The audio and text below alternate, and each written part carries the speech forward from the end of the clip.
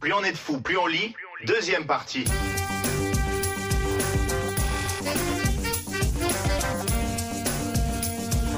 Ici Marie-Louise Arsenault, toujours en direct euh, du studio 18 de Radio-Canada à Montréal à la 60e minute de cette émission. Nous accueillons euh, sur ce plateau Nicolas Lévesque, auteur et psychologue. Bonjour euh, Nicolas. Bonjour. Et Jocelyn Maclure, professeur au département de philosophie de l'Université de Montréal, l'Université Laval. Jocelyn, oui. Euh, merci d'être avec nous, messieurs.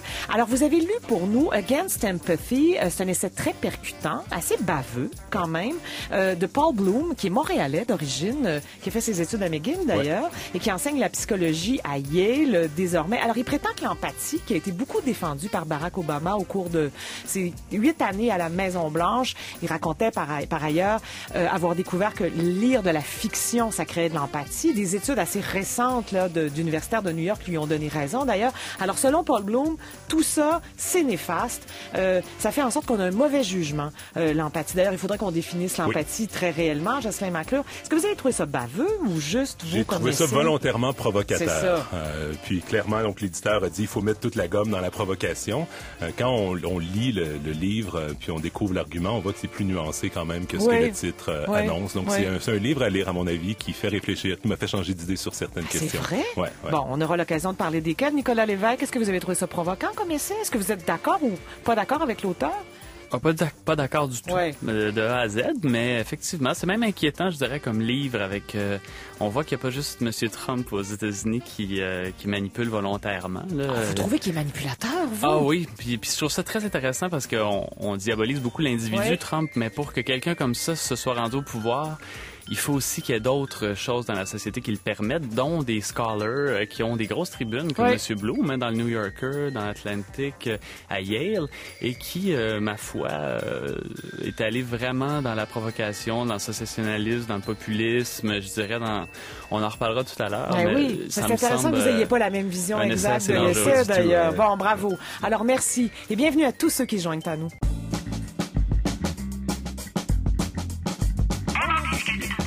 En compagnie de Nicolas Lévesque, auteur et psychologue, et de Jocelyn Maclure, euh, professeur au département de philosophie de l'Université Laval, nous allons enfin parler de ce fameux essai que vous avez lu pour nous, Against Empathy. Essai percutant, on le disait en ouverture de deuxième heure, de Paul Bloom. Parlons de lui d'abord, parce Ouais. que c'est un Montréalais. Exactement. Qui est né au début des années 60, qui a étudié à McGill, euh, qui a fait ses études à McGill. C'est ça qui est resté à Montréal jusqu'à la fin de ses études de premier cycle, Ouais. puis qui est, qui est parti après à l'étranger Il enseigne à. Yale aujourd'hui euh, la psychologie, notamment. Vous le disiez aussi, Nicolas Lévesque, lorsqu'on parlait de lui en ouverture de deuxième heure. C'est quelqu'un qui a des tribunes dans le New Yorker, euh, notamment. Il euh, publie donc cet essai dont on a parlé dans le Devoir euh, à Montréal, Against Empathy, où il défend une thèse euh, qui est la suivante, et on va expliquer sa notion de l'empathie parce que on pourra faire la différence entre la compassion, la sympathie, l'empathie. Mais grosso modo, ce qu'il dit, c'est que l'empathie c'est nuisible parce que ça nous empêche de prendre, de faire euh, et de prendre des décisions rationnelles. L'empathie, on en parle euh, depuis quelques années dans les médias occidentaux parce qu'on découvre dans certaines études universitaires dont vous devez être au courant, Nicolas Lévesque, que lire de la fiction, par exemple, provoque de l'empathie parce que quand on lit des romans, euh, on peut se mettre dans la peau des personnages. Un Ouais. vieil homme, une jeune femme, un musulman, un afro-américain. Et Barack Obama, dont il est question dans cet ouvrage, vous vous supposez d'ailleurs que c'est une attaque un peu directe à Barack Obama, Nicolas Lévesque, a beaucoup parlé de l'empathie dans sa façon d'aborder la présidence américaine, euh, Elisabeth Valley. Euh, et il a dit d'ailleurs que la fiction, euh, donc il, il s'appuie euh, probablement sur ses études, sur l'a Martin rendu plus empathique. On- Ben oui, on a déjà parlé de Martin Nussbaum. Qui Voilà. était son ancienne collègue euh, Voilà. à la faculté de droit de l'Université de Chicago, qui a défendu cette idée que, entre autres, tous ceux qui prennent Les des, juges. des- les juges, Oui. les policiers, tout ça auraient tout intérêt à lire, lire de beaucoup la de fiction, fiction. pour comprendre des réalités qui sont étrangères à la leur. Ah là là, voilà. C'est une démarche que moi je trouve forcément intéressante, bien entendu. Mais euh, Paul Bloom, d'abord, disons, qu'est-ce que lui, comment il définit l'empathie? À quelle sorte d'empathie on a affaire, Nicolas Lévesque, dans la bouche de Paul Bloom Ben, c'est ça. Euh, je dirais qu'il y a un problème avec les termes. Hein. Évidemment, c'est toujours ça. Euh, euh, euh, l'empathie, moi, je pense qu'il parle de la fusion, en fait. Je pense pas qu'il parle de l'empathie, Paul Bloom. Donc, contre la fusion, Ouais. c'est déjà plus intéressant. Je dirais, je peux lui donner ça. Il a choisi un beau sujet. C'est-à-dire que l'empathie est un très beau sujet. La distance affective est un très beau sujet. Bon, après ça, qu'est-ce qu'il en fait? Ça, c'est autre chose. Mais disons qu'on s'intéresse à ce beau sujet. L'empathie, pour lui, c'est être capable de se mettre à la place de l'autre. Et c'est pour ça qu'il dit que même les psychopathes sont capables de le faire, par exemple. Hein. Donc, il va, il va tout de suite là. Ce qui est pas faux d'ailleurs. Ah bon? On Ben a ouais, l'impression qu'au contraire, on les décrit souvent comme des narcissiques qui sont incapables d'empathie. Ben, en fait, c'est, pas vrai. Même euh, la psychanalyse peut, peut être d'accord avec Ouais. lui là-dessus. C'est-à-dire qu'il parle d'empathie cognitive, c'est-à-dire de se mettre dans la tête de l'autre. Alors ça, c'est une, c'est une faculté, c'est une intelligence, mais de là à avoir, euh, je dirais, euh, une capacité d'empathie, euh, affective. moi, je dirais que l'empathie, la meilleure définition, ce serait entre autres de- d'avoir deux souffrances en même temps, c'est-à-dire d'être capable de ressentir la souffrance de l'autre et la sienne en même temps. Parce qu'il y a des gens qui sont des exilés de l'intérieur, si on peut dire ça comme ça, et, et c'est une des définitions, on pourrait dire, de la, de la santé mentale, c'est-à-dire que quand on est exilé de soi-même et de sa propre souffrance, on peut fuir dans l'autre. Donc c'est pour ça que oui, c'est très bien la, la fiction, et puis c'est très bien de se mettre dans la, dans la peau des autres, mais ça peut aussi être une fuite, c'est-à-dire une fuite pour ne pas ressentir sa propre douleur. Donc, et là-dessus, euh, oui, on peut critiquer l'empathie là-dessus, c'est-à-dire que c'est pas suffisant de, de se projeter dans l'autre, il faut aussi être capable de tenir sa propre place en même temps. Et donc ça, ce serait pour moi une définition beaucoup plus juste de l'empathie. Et Paul Bloom ne parle jamais de ça dans, dans ce livre-là. Et donc, pour attaquer l'empathie, il réduit l'empathie juste à cette Bon. fonction. Alors, Against Empathy, le titre le laisse présager, Jocelyn McClure, c'est une position provocante. Décrivons la thèse principale du livre. Ouais, c'est ça. Pourquoi il s'en prend à l'empathie? Il s'en prend à l'empathie, euh, puis il se prend, comme Nicolas l'a dit, à une conception particulière de, de l'empathie. Hein. C'est ça, quand on lit le détail, on réalise que la, la thèse est moins euh, provocatrice que ce qui est, ce qui est annoncé. C'est vraiment le- l'empathie, euh, disons, d'un point de vue émotionnel qui est attaqué. Donc, c'est être capable de se mettre à la place de l'autre, mais non seulement de se mettre à la place de l'autre, mais de ressentir ses émotions spécifiques. Donc, si vous souffrez, si vous êtes en colère, la personne empathique, au sens qu'il critique, c'est celui qui va ressentir aussi les Oui. mêmes euh, émotions, qui va les refléter. Donc, je vais, sen- je, vais ressentir une partie de votre colère ou de votre tristesse.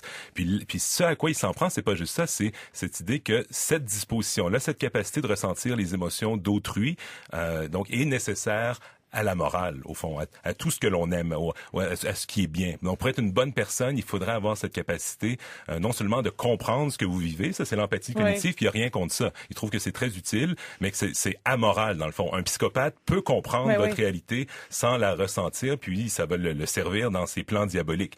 Donc, le- l'empathie cognitive est, est amorale, ça, il y a, y a- y a rien contre ça, mais c'est pas un tremplin vers la moralité. C'est l'idée que j'aurais besoin de ressentir la souffrance, la détresse de l'autre pour en arriver à un comportement ou à des jugements moraux acceptables. Ça, il est contre cette thèse-là, puis de ce côté, de, ce- de cette façon plus circonscrite là, c'est, ça me semble être assez, assez convaincant. Ben, pourquoi? Comment on peut être contre ça? Comment on pourrait agir moralement si on n'a pas une certaine empathie envers les autres, Jocelyn McClure? Ouais, c'est très très très difficile d'être contre l'empathie. Hein. C'est Ouais. comme être contre les chatons et la paix dans le monde. Là. Moi, j'ai pour la petite histoire, j'ai lu une partie de ce livre-là dans, dans l'avion. Là, puis quand le type à côté de moi a réalisé que je lisais un livre qui s'appelait Against Sympathy, il voulait changer de place littéralement. Il m'a dévisagé. C'est Puis- vrai? Ouais, ouais. ah donc oui, c'est euh, bien tout le monde. à se méfier de vous. Ouais. Puis on dit que dans la société moderne, c'est ce qui manque, Oui. d'ailleurs, Ouais. affreusement, parce qu'on Ouais. vit coupés les uns des autres de façon absolument individuelle. Et ça cause, au contraire, Nicolas Lévesque, et j'imagine que vous pouvez en, té- en témoigner, beaucoup de souffrance. Mais bien sûr.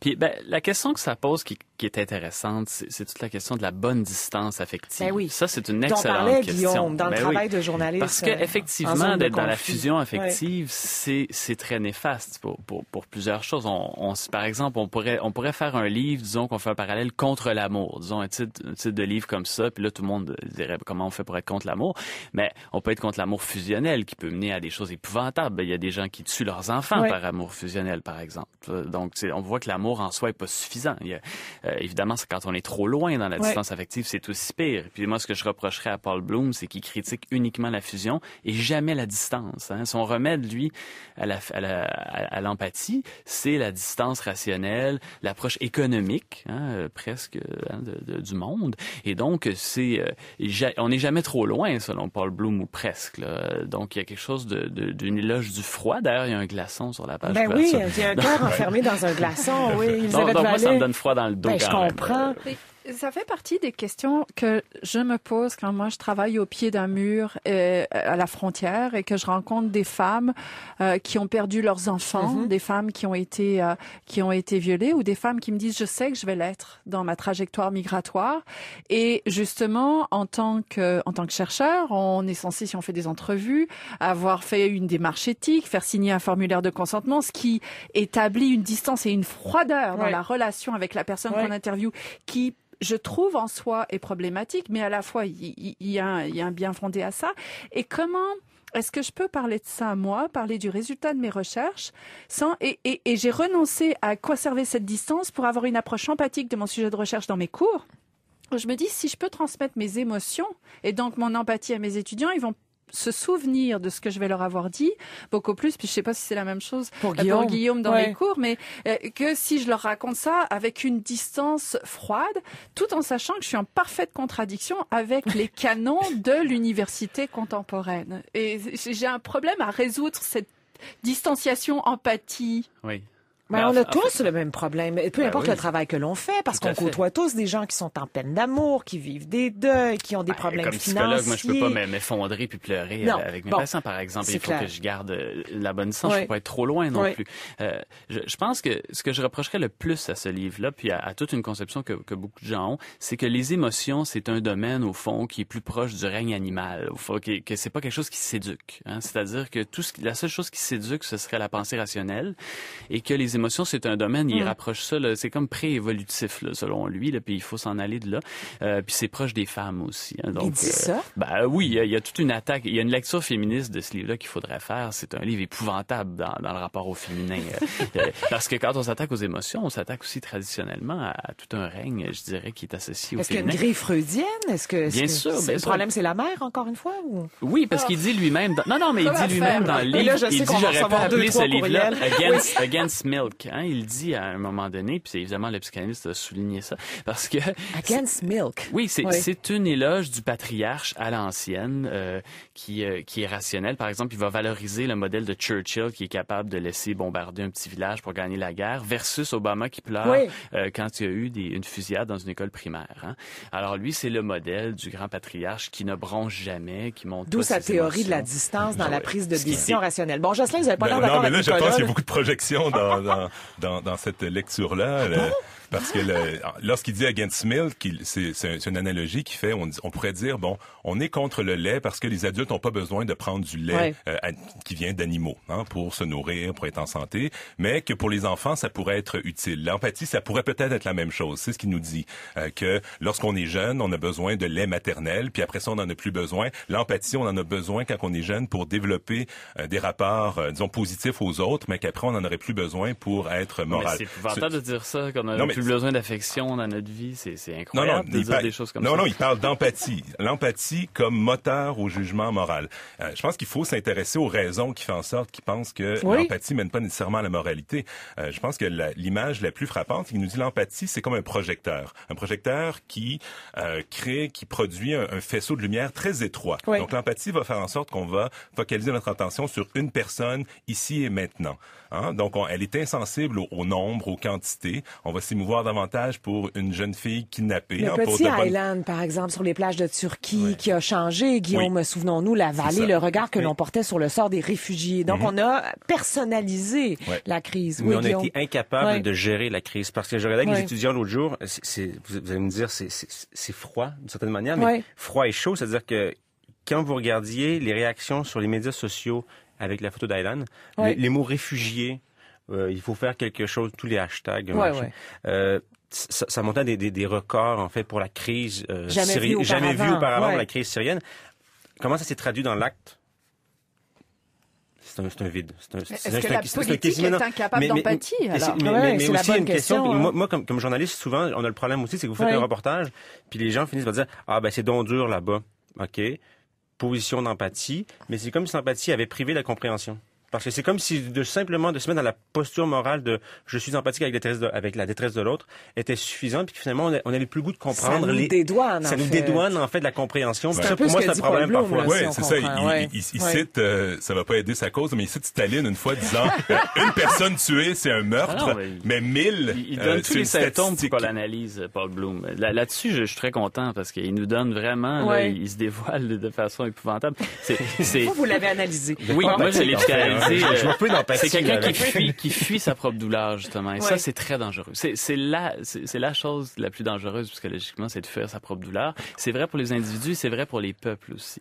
Et, et je dirais qu'il y a toute une lecture très intéressante à faire de ce livre-là par rapport à ce qui se passe au Québec. Hein? Le, le- le débat très enflammé autour de la critique du multiculturalisme versus ça. Ouais. Parce que les Auquel gens vous avez disent... participé, Jocelyn. Oui, oui. parce que les gens vont dire, ouais, c'est, tour. il y a une critique de l'empathie en disant, ouais, c'est ça, c'est, c'est, c'est bien beau d'être empathique au sort des autres, mais notre sort à nous, et puis là, il y a deux camps, euh, et, et puis je pense que... Ça se polarise beaucoup. Oui, puis pour moi, alors que la solution, elle est justement dans, dans une empathie qui est toujours double, c'est-à-dire qu'on ne peut qu'être sensible à l'autre qu'en étant sensible à soi, et qu'on ne peut qu'être sensible à soi qu'en étant sensible à l'autre. Mm.